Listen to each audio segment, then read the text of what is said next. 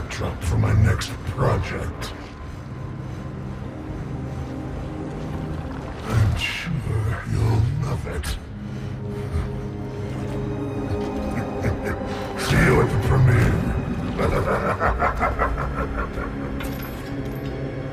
Belfry. Clayface slipped away. I'm coming home.